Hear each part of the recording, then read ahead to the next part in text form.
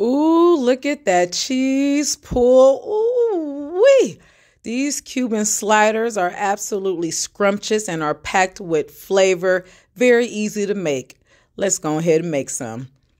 You're going to start with Hawaiian rolls. Look, I'm not doing 12, okay? I'm doing four. It's just me all by myself.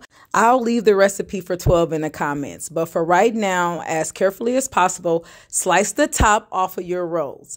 And all you're going to do is add Swiss cheese. I love cheese. So to this, I am adding three slices of Swiss cheese.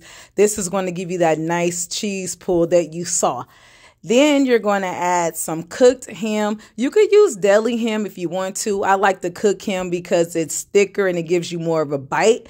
And then you're going to add some kosher pickles. These are nice and juicy. They're going to add that good crunch to the sandwich, or like I, I like to say, texture that all sandwiches need. And then guess what? That's all you have to do. Wait a minute. I I forgot which way the, the top goes on. Let me see if that, okay, it works. All right, all you got to do is, oh shoot, did y'all see that? That pickle fell off. Okay, no, we can't have that. All right, this is totally impromptu. I need to fix this. What we're going to do is don't even worry about it. Don't even worry about it. I'm going to put another piece of cheese. You can't have too much cheese anyway. I'm going to put another piece of cheese on top of here, and this is going to make sure that my pickles don't fall off when it's time to eat the sandwich. So, three pieces of cheese on the bottom, a piece of cheese on the top, and cover it with the top of the buns, and there you go. It's time to put these in your baking dish. Look at this. I know, right? Look at this. This is perfect for my four sliders.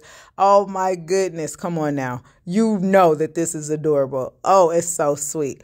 It is time to top these with some butter and also some brown mustard. Ooh wee. So you're going to put your brown mustard in the butter and we are going to mix these up and this is going to be a sauce that we're going to pour over these sliders. Make sure you taste it and it's to your liking. I want mine a little bit spicier, so I'm going to add that brown mustard.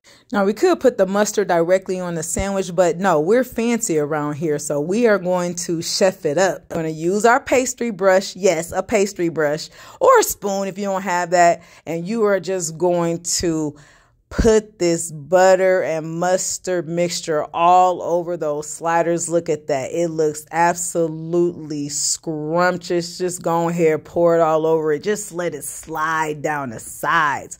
Ooh, we look at that sexy right there. It gets even better. We are going to top these with some chopped onions. We are fancy, okay? We're not putting these in the sandwich. We're putting these on top of the sandwich. We are going to lightly cover this with some foil. Don't smush this with the foil. You just want to gently cover this with the foil. We don't want this to smash all the onions and the goodness we just put on top. You're going to bake at 375 for 15 to 20 minutes. Remove the foil. Bake for an additional 10 minutes. You're going to pull them out the oven and they are going to look delicious like this. These smell absolutely amazing. The butter has dripped down to the bottom so they're nice and crispy. And let me show y'all. This is why I cut the ham so when I pull them apart, they break evenly. And look at that cheese pull. That cheese pull is ridiculous. Let me show you one more time. Mm-hmm. Delicious Cuban sliders. Bon appetit. Let's eat.